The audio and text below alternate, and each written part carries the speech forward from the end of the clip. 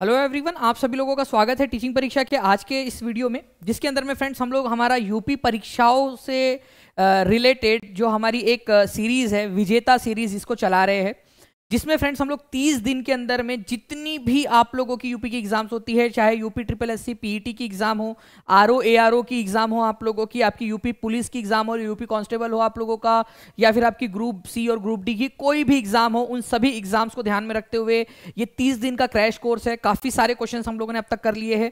इनकी प्ले भी आप लोगों को मिल जाएँगी। तो ये लेक्चर पूरा अच्छे से देखिए। इसमें भी काफ़ी सारा आपको फ्रेश मैं पढ़ाऊँगा। उसके बाद में आप उसको देख लेना, उस प्ले को भी आप लोग ज़रूर देख लेना। तो फ्रेंड्स यहाँ पर मैं हम लोग स्टार्ट करते हैं हमारी आज के इस लेक्चर को। और आ, मैं आपको बता दूँ कि ये लेक्चर आप लोगों को सिर्फ़ यूपी की ही नहीं बल्कि देश में जितनी भी गवर्नमेंट एग्ज़ाम्स होती है उन सभी गवर्नमेंट एग्ज़ाम्स के अंदर में काफ़ी ज़्यादा काम आने वाला है। ठीक है? तो चलिए जल्दी जल्दी से हम लोग स्टार्ट करते हैं। और जैसे कि मैं देख पा रहा हूँ फ्रेंड्स कि काफ़ी सारे लोग हैं यहाँ पर में जिन्होंने इस सेशन को लाइक भी कर दिया है। तो आप सभी लोगों का बहुत बहुत शुक्रिया फ्रेंड्स ठीक है लेक्चर स्टार्ट होते ही यहाँ पर मैं इतना सारा मोटिवेशन देने के लिए और जितने भी लोग जुड़े हुए हैं, वो लोग भी फ्रेंड जल्दी जल्दी से लाइक कर देंगे। जहाँ जहाँ भी शेयर कर सकते हो अपने दोस्तों के साथ में टेलीग्राम फेसबुक व्हाट्सएप इंस्टाग्राम जहाँ भी आप लोग शेयर कर सकते हो जल्दी जल्दी से अपने दोस्तों के साथ में शेयर भी कर देंगे। पहले क्वेश्चन की तरफ़ में डायरेक्टली आगे बढ़ते हैं हम लोग यहाँ पर में। पहला क्वेश्चन आप लोगों की स्क्रीन के ऊपर में ये रहा, ठीक है? पहला क्वेश्चन देखिए, यहाँ पर मैं आपसे बोला गया है कि संगम साहित्य किस भाषा में लिखा गया था? संगम साहित्य। तो देखिए फ्रेंड संगम साहित्य की बात करूँ अगर मैं तो ये आप लोगों का दक्षिण भारत के अंदर में जो संघ या फिर आप लोगों की बैठकें आयोजित हुई अलग अलग विद्वानों की राइटर्स की पोएट्स की और अलग अलग ग्रंथों की रचना की गई, उसको संगम कहा जाता है। और तीन संगम का उल्लेख हमें मिलता है फ्रेंड्स और उन संगम में, उन संघ के अंदर में, बैठकों के अंदर में जो साहित्य निकला, उनको संगम साहित्य कहते हैं। संगम साहित्य जो लिखा गया था दक्षिण भारत के अंदर में, वो लिखा गया था आप लोगों का तमिल भाषा के अंदर में। तो आंसर आप लोगों का हो जाएगा option number A. Direct question है आप लोगों का, संगम साहित्य तमिल भाषा के अंदर में लिखा गया। तीन संगम जो है आप लोगों को मिल, उल्लेख मिलता है तीन संगम का। पहली जो संगम हुई थी आप लोगों की वो हुई थी मदुरई के अंदर में। ठीक है मदुरा लिखो या मदुरई लिखो इसको इस तरीके से भी लिखा जाता है फ्रेंड्स ठीक है मदुरई। ठीक है मदुरई भी इसको लिखा जाता है मदुरई। तो मदुरई भी आप लोग बोल सकते हो मदुरा मदुरई आप लोगों की। दूसरी वाली जो आप लोगों की बैठक आयोजित हुई थी वो मदुरई के पास में ही एक और जगह है जिसको कपाटपुरम बोला जाता है कपाटपुरम। दूसरी वाली संगम साहित्य तीसरी वाली जो संगम बैठक आप लोगों की आयोजित हुई थी, वो हुई थी आप लोगों की मदुरई के अंदर में, ठीक है? तो ये आप लोगों ने थोड़ा सा ध्यान रखना है। मदुरई कपाटपुरम मदुरई, ये लिख लीजिए आप सभी लोग, कपुरई, मदुरई कपाटपुरम मदुरई, ठीक है? इन सारे संगम पोयम्स के जो संगम साहित्य उनमें से सबका, सबसे जो आप लोगों का, जो है यहाँ पर मैं फ्रेंड्स एक इंपॉर्टेंट जो साहित्य आप लोगों का, जो आप लोगों ने ध्यान रखना है, वो है आपका तोलका पियम। ठीक है तोलका पियर ने लिखी थी तोलका पियम ठीक है तो तोल लक का पीएम, ठीक है, पीएम तोलका पीएम तो तोलका पीएम जो है आप लोगों का फ्रेंड्स, ये याद रखना है, ये तमिल भाषा का, तमिल भाषा का व्याकरण है, और ये सबसे पुराना वाला जो अवेलेबल है आपका, जो पहले इसके अंदर में लिखे गए थे, वो भी माना जाता है कि लॉस्ट हो गए, खो गए, ठीक है, पहले वाले जो आप लोगों के संगम जो बैठक थी उसके अंदर में जो बने थे। तो तोलका पीएम जो कि तोलका पियर नाम के जो व्यक्ति थे जिन्होंने लिखी है, ठीक है? तो वो आप लोगों का सबसे पुराना ग्रंथ अवेलेबल है संगम साहित्य का, तमिल भाषा के अंदर में। तोलका पीएम जो है वो तमिल भाषा का व्याकरण भी है आप लोगों का, ठीक है? तो ये आप लोगों के क्वेश्चन मैं रिवीजन भी कराता हूँ आपको क्वेश्चन के थ्रू तीसरी संगम बैठक कहाँ पर मैं आयोजित हुई थी? दक्षिण भारत का इतिहास अगर आप लोगों को पढ़ना है फ्रेंड्स तो आप लोग यहीं से स्टार्ट कर सकते हो कि तृतीय संगम, पहली, दूसरी, तीसरी जो संगम है आपको बताना कहाँ आयोजित हुई थी तो पहली और तीसरी जो है ये मदुरई में आयोजित हुई थी आप लोगों की, और दूसरी वाली जो थी वो कपाटपुरम में आयोजित हुई थी। तो ये याद रखना है आप लोगों ने फ्रेंड्स की पहली और तीसरी वाली जो है वो मदुरई के अंदर में हुई थी। तो डायरेक्टली आंसर आप लोगों का ऑप्शन नंबर डी हो जाएगा। कितने लोगों ने जो है यहाँ पर मैं सही आंसर लगा लिया था, अब याद हो गया है। जल्दी से बता देंगे मुझे कि सर संगम साहित्य, संगम बैठकें कम से कम आयोजित हो गई, कहाँ कहाँ हुई थी। जल्दी से कमेंट करके बता दीजिए और लाइक एंड शेयर ज़रूर करते रहेंगे फ्रेंड जितने भी लोग देख रहे हैं, सभी के सभी लोग लाइक एंड शेयर ज़रूर करते रहेंगे, ताकि ऐसे ही मोटिवेशन के साथ मैं आप लोगों को पढ़ा सकूँ। ओके नेक्स्ट क्वेश्चन की तरफ़ में आगे बढ़ते हैं। संगम तमिलों का प्राचीनतम उपलब्ध ग्रंथ कौन सा है? तमिल संगम जो आयोजित हुई थी, कितनी संगम आयोजित हुई थी? जल्दी से कमेंट में लिख देंगे। कितनी संगम आयोजित हुई थी? तीन संगम हुई थी, जिनमें से सबसे पुराना वाला, उन संगम साहित्य में से, जो संगम में बनाया गया, बैठकों में बनाया गया, सबसे पुराना वाला अवेलेबल है तोलका पीएम ये तमिल भाषा का ग्रामर है, आपका तोलका पियर नाम के एक लेखक थे, उन्होंने इसको बनाया था। ठीक है तोलका पियम तमिल भाषा का ग्रामर है, तमिल, ठीक है, तमिल ग्रामर है, ये आप लोगों का, ये याद रखना है आप लोगों ने ग्रामर ठीक है? कौन सी भाषा का? तमिल भाषा का ग्रामर ये भी याद रख सकते हो आप लोग। आंसर इसका ऑप्शन नंबर डी हो जाएगा आप लोगों का। ठीक है? निम्न में से कौन सा प्राचीन तमिल ग्रंथ व्याकरण से संबंधित है? तमिल ग्रंथ का व्याकरण। आप देख सकते हो R S R T S prelim history दो के अंदर में पूछा गया क्वेश्चन है आपका, जो बता रहा हूँ, यही सारे पॉइंट्स आप लोगों से पूछे जाने वाले हैं। ठीक है? तो कौन सा प्राचीन तमिल ग्रंथ व्याकरण से संबंधित है? तमिल व्याकरण। अभी बताया आपको कि तोलका पीएम जो है, ये तमिल व्याकरण है। दूसरी वाली संगम बैठक में बनाया गया था, जो कपाटपुरम के अंदर में हुई थी। तीन संगम आयोजित हुई है। मदुरई के अंदर में पहली वाली, दूसरी कपाटपुरम के अंदर में, तीसरी फिर मदुरई के अंदर में। ठीक है? दूसरी वाली संगम के अंदर में तोलका पीएम जो कि तमिल भाषा का ग्रामर है, उसकी रचना की गई थी, ये याद रखना है आप सभी लोगों ने। ओके? चलिए नेक्स्ट क्वेश्चन की तरफ़ में आगे बढ़ने से पहले फ्रेंड्स कुछ इंपॉर्टेंट वाली लिस्ट है जो आप लोगों को पीडीएफ के अंदर में मिल जाएँगी। टीचिंग परीक्षा जो ऐप है, उसको डाउनलोड कर लेना आप लोगों ने। उसमें UP triple S C PET का एक फ्री कोर्स है आपका। एक रुपए उसके ऊपर लिखाऊँगा, खरीदना नहीं आप लोगों ने, एक रुपए वेस्ट नहीं करना है आप लोगों ने। वो अंदर जाओगे, सब कुछ फ्री है उसके अंदर में डोंट वरी ठीक है? तो अंदर जाओगे, सब कुछ ओपन रखा हुआ है उसके अंदर में, आप लोग जो है उससे उसके कर सकते हो, वहाँ पर मैं आपको डाल दी जाएँगी इसको। ठीक है? तो तोलका पीएम जो है, तोलका पियर ने लिखी थी फ्रेंड्स, तमिल भाषा का ग्रामर है। सिलप्पदी कारम करके एक बुक है, बहुत ही फ़ेमस बुक है सिलप्पदी कारम, इलांगो अडिगल, इन्होंने लिखी थी। इलांगो भी बोलते हैं इनको शॉर्ट में मनी मेखलाई, इसी का एक्सटेंडेड वर्जन है। सिलप्पदी कारम को एक्सटेंड किया है 400 साल के बाद में, ठीक है? सतनार ने आकर, ठीक है? उसके बाद में जो है फ्रेंड्स और भी बहुत सारी पुस्तकें आप लोगों की, लेकिन मेन जो ये तीन पुस्तकें हैं, आप लोगों ने याद रखनी है। पहली तीन पुस्तकें, ठीक है? ये पहली तीन पुस्तकें आपने याद रखनी है। ओके, प्रारंभिक तमिल साहित्य में निम्नलिखित में से कौन से महाकाव्य थे? ठीक है, कौन से महाकाव्य जो है प्रारंभिक तमिल काव्य में से थे? ठीक है, महाकाव्य थे वो। ठीक है, महाकाव्य मतलब कि बड़े बड़े काव्य संग्रह थे। मैं आप लोगों को बता दूँ फ्रेंड्स कि तीन जो आप लोगों के तमिल साहित्य है मतलब जो तमिल साहित्य संगम साहित्य आप लोगों के, उनमें से महाकाव्य मतलब कविताओं के फॉर्म में जो लिखे गए हैं आप लोगों के, एक तो है आपका सिलपदी कारम सिलपदी कारम और एक है मनी मेखलाई पूरा कविता के फॉर्म में लिखा गया है। इसमें मस्त पैकी जो है ना, यहाँ पर में जो हीरो है, ठीक है, उसकी, मैडम के साथ में शादी होती है उसकी। व्यापारी रहता है, शादी करा देते हैं। दोनों मस्त, एक नंबर फ़र्स्ट नाइट में तो इतनी तारीफ़ करता है, बहुत सारी तारीफ़, वो कविताओं के फॉर्म में है, पूरा का पूरा लिखा हुआ, तारीफ़ ही तारीफ़ तारीफ़ ही तारीफ़, कि तुम जो है बिना मेकअप के भी बहुत सुंदर सी लगती हो, ऐसा कुछ तो भी उसने अपनी भाषा में वो सब लिखा हुआ है वहाँ पर में, चाँद जैसी लगती हो, अदरक, लहसन, प्याज, सब उसने वो सब बोला है। ठीक है, थोड़े दिन बीतते हैं, अपने वो एक बार अपने जो है अपने बिज़नेस काम के सिलसिले में अपनी दुकान पे बैठा रहता है, वहाँ पर में एक नृत्य की रह जाते रहती है, उसके ऊपर में दिल आ जाता है, अपनी मैडम को छोड़कर उसके पीछे पड़ जाता है, ठीक है, अपनी वाइफ को छोड़ देता है। फिर बाद में पता चलता है, नहीं यार, मेरी वाइफ अच्छी थी करके तो वापस आ जाता है। वापस आ जाता है, तब तक बिज़नेस पूरा ठप पड़ चुका होता है, ठीक है? तो लड़की का चक्कर, बाबू भैया, लड़की का चक्कर सिलापति कारम के अंदर में दिया हुआ है आपका। बाद में जो है फ्रेंड सिलापति कारम खत्म हो गई। मनी मेखलाई के अंदर में एक और जो है सतनार नाम के कवि आए 400 साल बाद, उन्होंने बोला, यार, इस कहानी को और आगे बढ़ा सकते उन्होंने क्या किया, उन्होंने सोचा कि जब वो जो हीरो था, वो जो माधवी के इसमें गया था, ठीक है?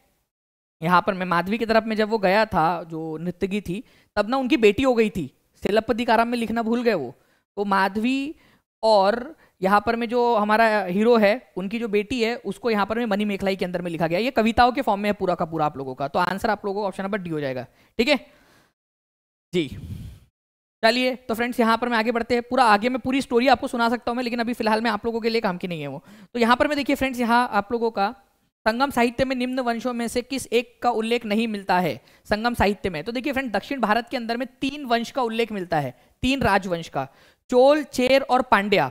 चोल, चेर और पांड्या। तो संगम कविताओं के अंदर में तीन राजवंशों का उल्लेख है। चोल, चेर और पांड्या, ये याद रखना है आप लोगों ने। जी हाँ उत्तराखंड एलटी में भी ये यूजफुल रहेगा। मैंने आप लोगों से कहा कि जो आपकी देश की जितनी भी एग्ज़ाम्स है, उसके अंदर में ये इंपॉर्टेंट है आप लोगों का ये सारे के सारे क्वेश्चन तो चोल है, चेर है और पांड्या है। ठीक है? तो चोल, चेर और पांड्या। चोल इधर में थे, चेर इधर, चेर जो है वो केरल के साइड वाले थे, ठीक है? इधर में चेर थे, इधर में चोल थे और इधर में पांड्या थे। तो चोल, चेर और पांड्या, ठीक है? पल्लव का उल्लेख उसमें नहीं मिलता है। तो आंसर आपका पल्लव हो जाएगा क्योंकि किसका उल्लेख नहीं मिलता ये पूछा गया है। तो चोल, चेर और पांड्या। आपको पता है, चोल, चेर और पांड्या, इन तीनों को मिला क्या कहा जाता था? क्या आप बता सकते हो इन तीनों को मिलाकर क्या कहा जाता था? जल्दी जल्दी से बताइए आप लोग। क्योंकि इन तीनों को मिलाकर भी एक शब्द बनता है, मुवेंडर। ठीक है, ये याद रखना आप लोगों ने। चोल, चेर और पांड्या, इन तीनों को अगर आप मिला दोगे तो मुवेंडर शब्द बनता है, मुवेंडर। इनको मुवेंडर कहा गया है। ठीक है, मुवेंडर मतलब तीन राजवंश। मुवेंडर मतलब तीन राजवंश होता है। लाइक एंड शेयर करते रहिए फ्रेंड्स जल्दी जल्दी से आप सभी लोग, जितने लोग, इतने सारे लोग देख रहे हैं, पूरी एनर्जी से पढ़ा रहा हूँ। मैं चाहूँगा कि आप सभी लोग अपना अपना योगदान ज़रूर देते रहिए यहाँ पर में। ठीक है, चोल, चेर और पांड्या तीन राजवंशों का उल्लेख मिलता है आप लोगों को। In which Tamil texts did the worship of faithful wife get prestige पतिव्रता पत्नी की पूजा को किस तमिल ग्रंथ में प्रतिष्ठा प्राप्त हुई है कि भाई पतिव्रता पत्नी की पूजा होनी चाहिए करके, ठीक है? तो पतिव्रता पत्नी तो देखो पतिव्रता पत्नी पत्नी मतलब पत्नी अगर मान लो जी पतिव्रता है आप लोगों की तो ठीक है, उसकी पूजा की बात की गई है। वो पतिव्रता, बताया ना मैंने आपको, वो मैडम थी आप लोगों की, ठीक है? जी तो आंसर क्या हो जाएगा आपका? सिलपति कारम के अंदर में। हमारा हीरो जो है, हमारी हीरोइन को छोड़ के चला गया था, उसके बावजूद भी वो उसका इंतज़ार करती रही और जब वापस आया तो उसको एक्सेप्ट भी कर लिया यहाँ पर में। तो सिलपति कारम के अंदर में ये बात आप लोगों को बताई गई है, वो स्टोरी आप लोगों की, जो मैंने अभी आप लोगों को सुनाया था जो स्टोरी ठीक है? तो ये याद रखना है आप लोगों ने, इलांगो ने इसके अंदर में ये बात बताई गई है। इलांगो ने इसके अंदर में बात बताई है, ठीक है? ठीक है? तो जो कोवलन था हमारा हीरो तिलपदी कारम कहानी के अंदर में वो अपनी जो पत्नी है, कन्नगी, उसको छोड़कर चला जाता है माधवी के पास में। जो कन्नगी है, वो इसका इंतज़ार करते हुए जो है दरवाजे के ऊपर में बैठी रहती है, फिर वो बहुत रोती है, बहुत रोती बहुत रोती फिर बहुत दिनों के बाद में उसका पति वापस आता है, फिर भी एक्सेप्ट कर लेती है। देखिए तो पतिव्रता पत्नी यहाँ पर में, ये याद रखना है आप लोगों ने।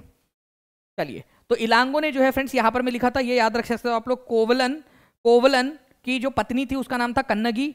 ठीक है? अपनी पत्नी कन्नगी को छोड़कर वो माधवी की तरफ़ में अट्रैक्ट हो जाता है। ठीक है? ये पति, पत्नी और वो, ये है। ठीक है? ये याद रखना है। तो ये कन्नगी की पूजा की बात की गई है सिलपति कारम के अंदर में। ठीक है? चलिए। तो ये थोड़ा सा आप लोग याद रखेंगे। Which among the following Tamil epic is considered as Laghu Veda किसको लघु वेद कहा गया है? कौन सा वाला तमिल है लिटरेचर है? UP R O A R O की एग्ज़ाम में पूछा गया क्वेश्चन मैंने आप लोगों से कहा है कि आप लोगों का ये जितनी भी एग्ज़ाम्स आप लोगों की होती है, उनके अंदर में, ठीक है, ये पूछा जा सकता है, ये सारी की सारी चीज़ें आप लोगों की ओके तो प्लीज़ इसको थोड़ा सा आप लोग याद रखोगे इंपॉर्टेंट वाली चीज़ें आप लोगों की, ठीक है? जी तो आंसर क्या हो जाएगा फ्रेंड्स आप लोगों का सिंपल सी बात है यहाँ पर में प्लीज़ इसको याद रखना आप लोग। आप लोगों का पेरिया पुराण जो है, आप लोगों का पेरिया पुराणम, इसको जो है, क्या कहा जाता है? इसको लघु पुराण, लघु वेद जो है, उसके रूप में यहाँ पर में माना जाता है। ये याद रखना है आप लोगों ने थोड़ा सा ठीक है? पेरिया पुराण को। तो ये आप लोगों का आंसर हो जाएगा। Answer is option number C, ठीक है? ये पॉइंट को थोड़ा सा याद रखिए आप लोग। थोड़ा सा इंपॉर्टेंट पॉइंट है। एग्ज़ाम के अंदर में आप लोगों से पूछ सकते हैं, ठीक है? चलिए, ना आगे बढ़ते हैं फ्रेंड्स यहाँ पर में हम लोग हमारे नेक्स्ट पॉइंट की तरफ़ में हम लोग आगे बढ़ेंगे यहाँ पर में। नेक्स्ट पॉइंट है आप लोगों का कि संगम काल में तमिल भाषा में महाभारत को किसने लिखा था? संगम काल के अंदर में तमिल भाषा, ठीक है? तमिल भाषा के अंदर में महाभारत को किसने लिखा था? ये आप लोगों से पूछा जा सकता है। तो तमिल भाषा के अंदर में महाभारत को लिखने वाले थे पेरुनदेव नार, ठीक है? पेरुन्न देवनार ये याद रखना है आप लोगों ने पेरुन्न देवनार इन ये व्यक्ति थे जिन्होंने तमिल भाषा में महाभारत लिखी है। तमिल भाषा के अंदर में महाभारत। तो महाभारत को तमिल भाषा में लिखने का श्रेय पेरुन पेरुन देवनार को दिया जाता है। ठीक है? ये भी एक पॉइंट है आप लोगों का जो आप लोगों ने याद रखना है। ये R S R T S prelims history optional 2010 के अंदर में पूछा गया क्वेश्चन है आप लोगों का पेरुन देवनार नेक्स्ट क्वेश्चन है भारत में रोम के व्यापारिक प्रतिष्ठान की खोज निम्नलिखित में से सर्वप्रथम की गई थी। ठीक है? मतलब कि भारत का रोम के साथ में व्यापार होता था, ये बात कहाँ पर मैं आप लोगों को जो है वो कहाँ से पता चलती है कि भारत का रोम के साथ में भी व्यापार होता था? ठीक है? रोम का मतलब है आप लोगों का फ्रेंड्स? ऑब्वियसली बात ले, इटली, रोम जो है ना, रोमन साम्राज्य, उसके साथ में भारत का जो है वो व्यापार होता था। तो अरिका मेडू नाम की एक जगह है। आज ये आप लोगों को पता है कहाँ पर में मिलेगी? अरिका मेडू नाम की जगह आज आप लोगों को मिलेंगी फ्रेंड्स आपके पौंडीचेरी के अंदर में ठीक है? तो अरिका मेडू यहाँ पर में ना एक बंदरगाह मिला है हमें अरिका मेडू के अंदर में। यहाँ से पता चलता है कि भाई रोम के साथ में रोमन साम्राज्य के साथ में यहाँ से व्यापार होता था ठीक है? तो पौंडीचेरी के अंदर में है अरिका मेडू आप लोगों की जगह जहाँ से पता चलता है कि आ, रोमन साम्राज्य के साथ में भी व्यापार हुआ करता था दक्षिण भारतीय लोगों का ठीक है? चलिए। नेक्स्ट क्वेश्चन के तरफ़ में आगे बढ़ने से पहले फ्रेंड्स मैं आप लोगों को दिखाना चाहूँगा यहाँ पर मैं। ये आप देख सकते हो पौंडीचेरी के पास में अरिका मेडू नाम की जगह, यहाँ से व्यापारिक जहाज़ जो है वो रोम की तरफ़ में जाया करते होंगे, ऐसा पता चलता है हम लोगों को। ठीक है? चलिए। नाउ फ्रेंड्स संगम साहित्य में कावेरी पट्टनम का संबंध किससे है? तो कावेरी पट्टनम नाम की एक जगह है कावेरी पट्टनम आपको बताऊँ, इसको जो है ना, पूहर के नाम से भी जाना जाता है, इस जगह को। एक जगह है कावेरी पट्टनम कावेरी नदी के किनारे पे इसलिए कावेरी पट्टनम बोलते हैं। इसको पूहर भी बोला जाता है, पूहर। ठीक है कावेरी पट्टनम बोलो, पूहर बोलो, एक ही बात है। तो कावेरी पट्टनम या पूहर नाम की जो जगह है, ये किससे संबंधित है आप लोगों की? तो ये जो है ना फ्रेंड्स ये चोल लोगों का, बंदरगाह वाला शहर था, चोल लोगों का। तो चोल जो साम्राज्य था, ठीक है, दक्षिण भारत के अंदर में, यहाँ पर में, यहाँ चोल थे, यहाँ चेर थे और यहाँ पर में पांड्या लोग थे, ठीक है? तो चोलाज ठीक है, चेर यहाँ पर में, केरल के अंदर में चेर लोग थे, चेर, केरल और यहाँ पर में पांड्या। तो मदुरई जो है, जहाँ पर में संगम आयोजित हुई थी, वो पांड्या लोगों की राजधानी थी। तो चोल जो है, उनका एक एक शहर था कावेरी पट्टनम जिसको पूहर के नाम से भी जाना जाता है। प्लीज़ इसको भी याद रखना, पूहर के नाम से भी जाना जाता है आप लोगों का। ठीक है? चलिए तो चोर लोग जो है चोर चोर नहीं, चोल लोग जो है, उन लोगों का एक शहर था। ठीक है? आप लोगों का पुहर या कावेरी पट्टनम चोल लोगों का बंदरगाह वाला शहर। और जो मदुरई की बात की हमने, वो पांड्या लोगों का पांड्या लोगों की राजधानी थी। अच्छा चोल, चेर और पांड्या, इन तीनों को मिलाकर क्या कहा जाता था संगम पोयम के अंदर में? इन तीनों को एक कॉमन नाम दिया गया है। चोल, चेर और पांड्या को एक कॉमन नाम दिया गया कॉमन उन तीनों को एक कॉमन नाम दिया गया है। ठीक है, वर्षा सिंह जी का यू प्राइमरी और जूनियर दोनों पेपर पास हो गए। चलो, बहुत अच्छी बात है। कॉन्ग्रेचुलेशन वर्षा सिंह जी।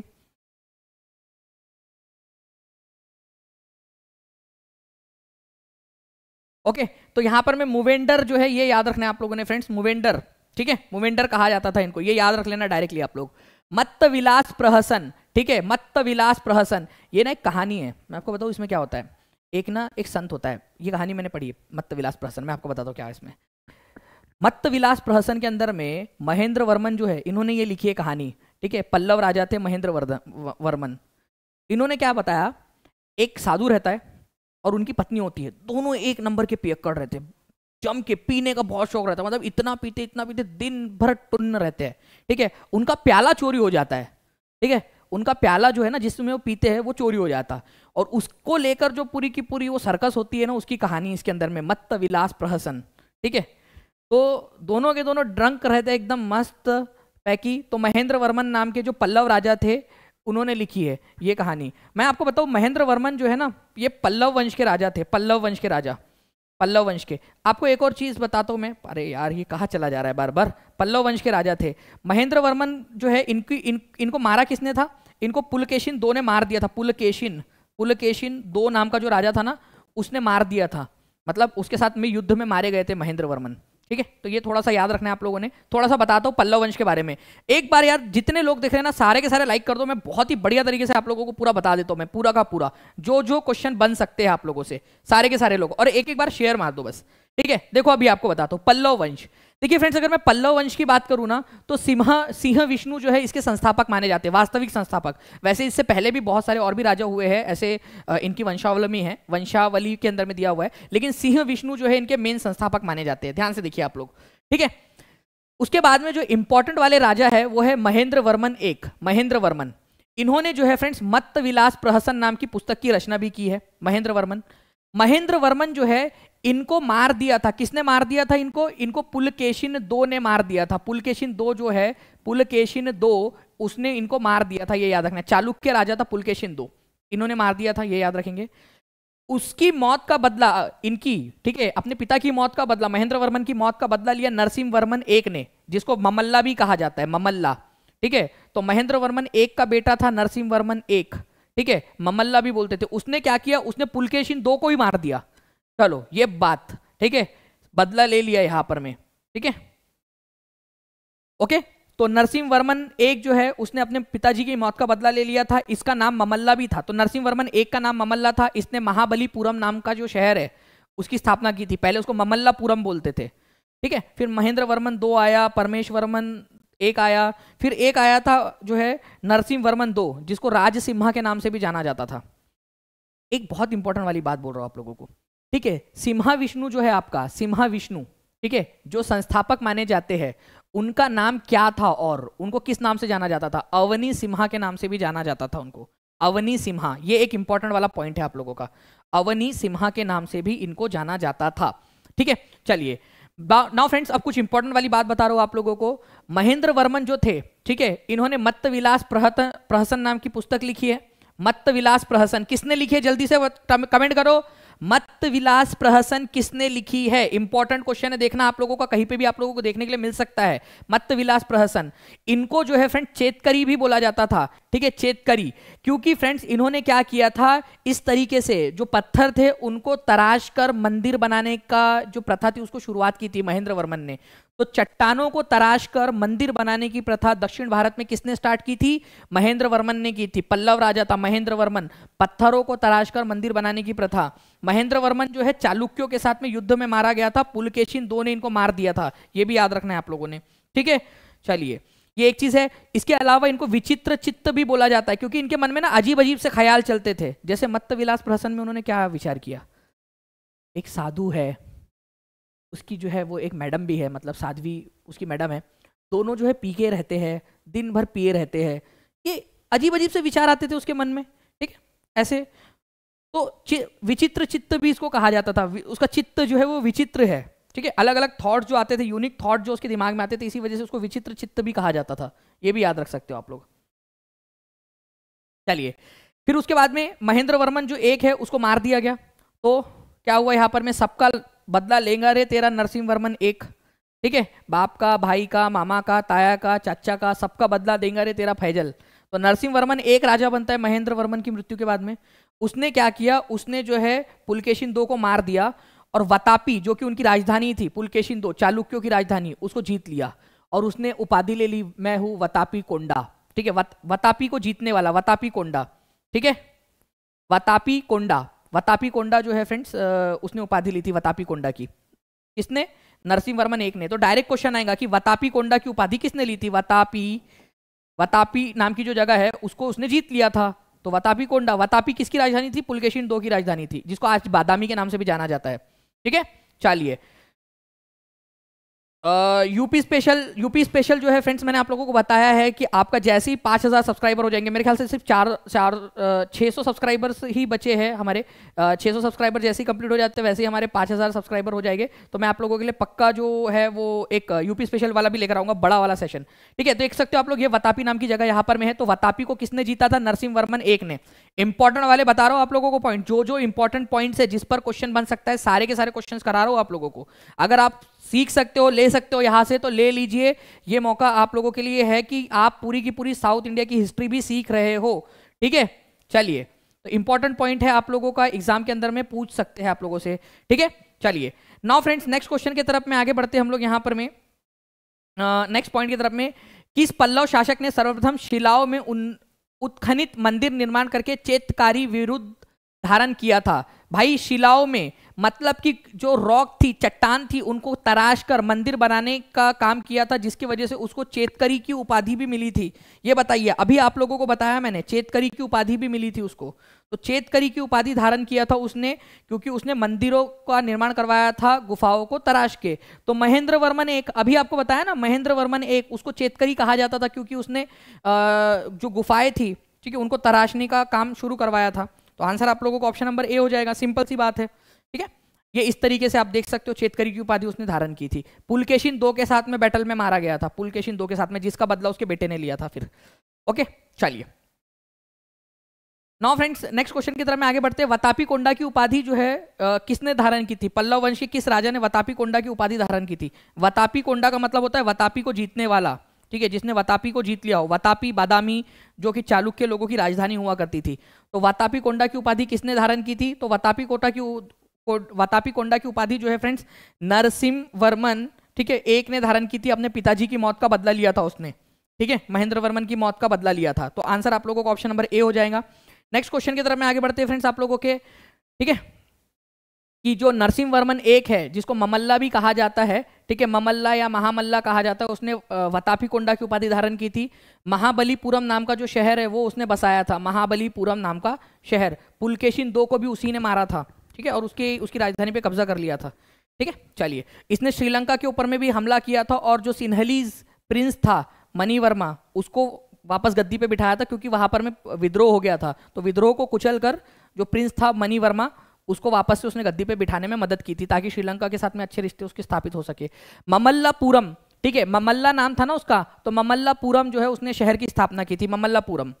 अगर आप होते, जैसे मैं, मान लो मैं राजा बन गया तो दानिशपुरम नाम से शहर बना दूँगा मैं, ठीक है? उसके बाद में जो है फ्रेंड्स, ममल्लापुरम या जो इसकी, इसका जो पल्लव किंगडम है, वहाँ पर मैं वैन सांग ने भी यात्रा की थी, जिसने बताया है कि सब लोग हैप्पी हैप्पी थे, सारे के सारे लोग खुश थे, ठीक है? बढ़िया से कोई दिक्कत नहीं थी, उनको खुश थे वो अपने। इसमें। नैनार संत और अप, नयनार और अलवार दोनों ही प्रकार के संतों को उसने आश्रय दिया था। ठीक है तो इसमें कोई वो नहीं है। नैनार और अप्पा नयनार संत मतलब जो शिव भक्त थे और अलवार संत जो विष्णु भक्त थे दोनों को इन्होंने सहायता दी थी। राज सिम्हा की उपाधि किसने धारण की थी? ये भी एक अपने आप में क्वेश्चन बनता है। राज सिम्हा की उपाधि किसने धारण की थी? तो पल्लव वंश हम लोग पढ़ रहे हैं फ्रेंड्स ठीक है पल्लव वंश। ठीक है हम लोगों ने देखा सिम्हा विष्णु। सिम्हा ठीक है सिम्हा विष्णु, जो कि इनके संस्थापक माने जाते हैं, वास्तविक संस्थापक माने जाते हैं सिम्हा विष्णु, उन्होंने अवनी सिम्हा की उपाधि ली थी, अवनी सिम्हा की उपाधि। ठीक है, अवनी सिम्हा ओके, ये हम लोगों ने देखा। उसके बाद में हम लोगों ने देखा कि नरसिंह वर्मन जो वन थे, उनको ममल्ला के नाम से जाना जाता था, ममल्ला। ममल्ला के नाम से जाना जाता था। उसके बाद में आप लोगों से बोला जा रहा है कि राज सिंह या राज सिम्हा किसको बोलते थे? राज सिंह या राज सिम्हा? नरसिंह वर्मन दो को बोला जाता था, ये याद रखना आप लोगों ने। नरसिंह वर्मन दो को। ठीक है, नरसिंह वर्मन दो, जो कि नरसिंह वर्मन एक के बाद में आया होगा ऑब्वियस सी बात है। ठीक है, इसको कहा जाता था राज सिम्हा या राज सिंह। ठीक है, राज सिम्हा राज सिम्हा या फिर राज सिंह भी बोलते थे इसको, राज सिंह। ठीक है, राज सिंह, ये ऐसे भी याद रख सकते हो आप लोग। ठीक है? इंपॉर्टेंट है एग्ज़ाम के अंदर में पूछते हैं फ्रेंड्स प्लीज़ इन चीज़ों को याद रखिए आप सभी लोग। तो नरसिंह वर्मन दो जो है, इसको राज सिंह बोला जाता था। नेक्स्ट क्वेश्चन की तरफ़ मैं आगे बढ़ने से पहले मैं आप लोगों को बता दूँ कि इन्होंने कैलाश नाथ टेंपल जो है, कांची के अंदर में, कांचीपुरम किसकी राजधानी थी? पल्लव लोगों की। एक नंबर और मिल जाएगा आप लोगों को। पल्लव लोग जो थे, उन लोगों की राजधानी थी कांची। तो कांचीपुरम के अंदर में या कांची के अंदर में अपनी राजधानी किसने बनाई थी? कांची के अंदर में राजधानी बनाई रा, या कांची किसकी राजधानी थी? तो पल्लव लोगों की राजधानी थी ये याद रखना है आप लोगों ने। शिव भक्त था बहुत बड़ा ये ये भी याद रखना है आप लोगों ने। ठीक है राज सिम्हा की उपाधि धारण की थी। नेक्स्ट क्वेश्चन की तरफ़ में आगे बढ़ते हैं फ्रेंड्स कि कांची का विख्यात कैलाशनाथ मंदिर किसने बनवाया था? देख सकते हो आप लोग आईएस के एग्ज़ाम के अंदर में पूछा गया क्वेश्चन है, आप लोगों को बहुत सारे जगह पे काम आएगा। डायरेक्ट क्वेश्चन है आप लोगों का कि कांची का विख्यात कैलाशनाथ मंदिर किसने बनवाया था? तो कांची का विख्यात कैलाशनाथ मंदिर जो कांचीपुरम तमिलनाडु के अंदर में आप लोगों का, ये आपका बनवाया था नरसिंह वर्मन दो ने। नरसिंह वर्मन दो को किस नाम से जाना जाता था? आप लोग मेरे को कमेंट करके बताएँगे। नरसिंह वर्मन दो को किस नाम से जाना जाता था? बताइए सभी लोग जल्दी जल्दी से। अभी आप लोगों को बताया मैंने। नरसिंह वर्मन दो जो है, ये जाने जाते थे आपके राज सिम्हा के नाम से। ठीक है राज सिम्हा के नाम से जाने जाते थे ये। ओके तो आंसर होगा आपका ऑप्शन नंबर ए। ठीक है, नरसिंह वर्मन दो राज सिम्हा के नाम से जाने जाते थे और कांची के अंदर में कैलाशनाथ टेंपल इन्होंने बनाया है। इसके अलावा महाबलीपुरम नाम का शहर, महाबलीपुरम नाम का शहर इनके पर पर दादा ने बनाया था यहाँ पर में, ठीक है? तो उनके जो पर पर दादा थे, उन्होंने महाबलीपुरम नाम के शहर की स्थापना की थी। लेकिन उस शहर के अंदर में शोर टेंपल या तटीय मंदिर, ठीक है मतलब तटवत, समुद्र के किनारे पे बने हुए इस वजह से तटीय मंदिर बोलते हैं उसको तो वो मंदिर भी इसने बनवाया था, ठीक है, अपने पर पर दादा वाले शहर के अंदर में। तो महाबलीपुरम या ममल्लापुरम नाम का जो शहर है तमिलनाडु में, वहाँ पर में तटीय मंदिर किसने बनवाया? तो नरसिंह वर्मन दो ने बनवाया था। ठीक है? चलिए, इन जो मंदिर है, इनको सेवन पगोड़ा भी कहा जाता है, सात पगोड़ा। पकोड़ा नहीं है वो हाँ? ठीक है? नहीं तो पता चले आप लोगों के मन में जो है वो पकोड़ा आ रहा है। पकोड़ा नहीं है, वो पगोड़ा है, पगोड़ा। सात मंदिर या सेवन पगोड़ा। ठीक है? तो सेवन पगोड़ास उनको बोला जाता है। तो सेवन पगोड़ास ये जो मंदिरों का समूह है, ये कहाँ पर में है? ये महाबलीपुरम के अंदर में ये याद रखना है आप लोगों ने। सात पगोड़ा या सेवन पगोड़ा मतलब सात मंदिरों का समूह, जो रथ जो आप लोगों के तट के ऊपर में बने हुए हैं ये मंदिर, तटवर्ती इलाके के अंदर में। पकोड़ा नहीं है वो हाँ। चलो, आगे बढ़ते हैं फ्रेंड्स, यहाँ पर मैं आप लोगों के नेक्स्ट क्वेश्चन की तरफ़ में, ठीक है, कांचीपुरम के वैकुंठ पेरुमल जो है आप लोगों का, ठीक है, वैकुंठ पेरुमल मंदिर, एक और राजा थे इनके नंदी वर्मन दो, उन्होंने बनाया था। तो वैकुंठ पेरूमल मंदिर किसने बनाया था? वैकुंठ पेरूमल मंदिर। देखो कैलाश नाथ मंदिर मैंने आपको बता दिया। कैलाश नाथ मंदिर नरसिंह वर्मन दो ने बनाया। उसके बाद में एक नंदी वर्मन भी आया था नंदी वर्मन दो। उसने वैकुंठ पेरूमल मंदिर बनाया था, कांचीपुरम में। वैकुंठ वैकुंठ पेरूमल मंदिर। ठीक है? तो देखो, कैलाश, मैं फिर से रिवाइज करा देता हूँ। मेरे साथ साथ में लिखो आप लोग, कैलाश नाथ टेंपल किसने बनाया था? कैलाश नाथ टेंपल कहा और किसने बनाया था? ये आप लोग लिखिए। और वैकुंठ पेरूमल, वैकुंठ वैकुंठ पेरूमल मंदिर पेरूमल मंदिर जो है फ्रेंड्स ये किसने बनाया था? ये भी आप लोग लिख सकते हो यहाँ पर में। तो नंदी वर्मन दो जो था नंदी वर्मन नंदी वर्मन वर्मन दो, ठीक है, नंदी नंदी वर्मन ठीक है नंदी वर्मन दो, उन्होंने बनाया था वैकुंठ पेरुमल मंदिर। और वही अगर आपसे कैलाश नाथ मंदिर आप लोगों से पूछ लिया जाए कैलाश नाथ मंदिर किसने बनाया था तो ये आप लोगों को याद रखना है नरसिंह वर्मन नरसिंह वर्मन नरसिंह वर्मन दो ने। ठीक है, ये नंदी वर्मन है, ये नरसिंह वर्मन दो है। ठीक है, याद रहेगा आप लोगों को दोनों को, दोनों चीज़ें कमेंट में लिखते जाओ ताकि आप लोगों को याद भी हो जाए। ठीक है, चलिए लाइक एंड शेयर करते रहेंगे फ्रेंड्स सभी लोग, जितने भी लोग देख रहे हैं, ताकि ऐसी ही एनर्जी मेरी बनी रहे, कितनी भी रात हो जाए। टोंडी एक समृद्ध पत्तन था, टोंडी टोंडी नाम का एक जो है फ्रेंड्स पत्तन या पोर्ट या नग आप लोग बोल सकते हो कि बंदरगाह वाला शहर था। तो टोंडी कौन सा वाला, किसका बंदरगाह वाला शहर था, ये आप लोगों को बताना है। टोंडी। डायरेक्टली क्वेश्चन बन सकता है आप लोगों का। जल्दी जल्दी से बताइए आप लोग। टोंडी किसका जो है बंदरगाह वाला शहर था? और ये आप लोगों को बेसिकली अभी आज मिलेगा, कहाँ पर मैं, ये भी आप लोग मुझे बता सकते हो। कहाँ पर मैं मिलेगा आपको?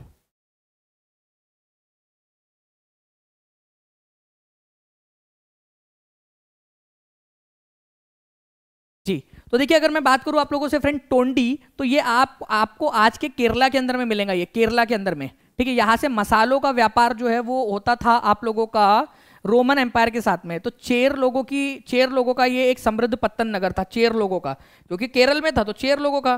ठीक है, ये याद रखना है आप लोगों ने। ज्योति किरण जी, वो, उसको लॉक नहीं है, उसको हटा दिया लॉक को ना, वो सारा का सारा फ्री है आपके लिए डोंट वरी ठीक है? तो ये याद रखना है आप लोगों ने, चेर लोगों का था आप लोगों का टोंडी ठीक है? चलिए। चलो। नेक्स्ट क्वेश्चन की तरफ़ में आगे बढ़ते हैं। फ्रेंड्स आप लोगों का चाहिए आंसर आप लोगों को दिख गया है चेर लोग जो है, इनको क्या बोला जाता है चेर लोगों को? तो चेर लोग जो है, केरल के, जो आज का केरल का इलाका है, वहाँ पर में शासन किया करते थे, ठीक है? तो इसी वजह से ये वाले इलाके में शासन करते थे, और यहाँ पर में आज का केरला है तो इनको केरला पुत्र भी कहा जाता था, ये याद रखना आप लोगों ने। चेर लोग मतलब केरल के इलाके में राज करने वाले, केरल का जो इलाका है, वहाँ पर में शासन करने वाले, ओके? तो ये थोड़ा सा आप लोग याद रखोगे इंपॉर्टेंट है एग्ज़ाम के अंदर में पूछा जाता है। मैंने आप लोगों को बता दिया कि केरला पुत्र के नाम से भी इनको जाना जाता है। ओके चलिए। केरला पुत्र, क्योंकि केरल के इलाके में ही इनका शासन था। अच्छा यार, ये भी क्वेश्चन आपको दिख रहा है आपका। चेरा साम्राज्य के पहले राजा के रूप में किसका नाम दर्ज किया गया है? चेर साम्राज्य। तो चेरा जो है, इनके पहले राजा के रूप में किसका नाम आप लोगों का दर्ज है? चेर लोगों का। ठीक है, चेर, चेरा राजा के पहले राजा के नाम में, रूप में किसका नाम दर्ज है? ठीक है? जल्दी से बता देंगे आप लोग।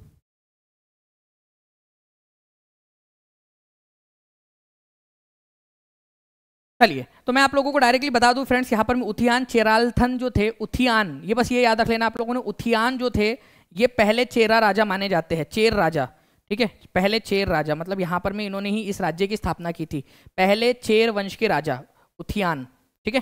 तो ये आप लोगों ने याद रखना, इसकी टेस्ट भी आप लोग दोगे और इसको आप लोग रिवाइज करोगे ना, आप लोगों को और ज़्यादा बेहतर तरीके से ये सारी की सारी चीज़ें याद हो जाएँगी, ठीक है? जब आप लोग इसको रिवाइज करोगे, आप टेस्ट देकर यूपी पीटी के जो कोर्स है आपका, बिल्कुल जो आपके लिए फ्री है टीचिंग परीक्षा ऐप के ऊपर में तो आप लोगों को और अच्छे से ये सारी चीज़ें याद हो जाएँगी, ठीक है? तो आप लोगों ने टेंशन नहीं लेना है आराम से आप लोग इस सारी चीज़ों को याद कर सकते हो। तो उद्यान याद रखना है आप लोगों ने फ्रेंड जो चेर लोगों का पहला राजा था।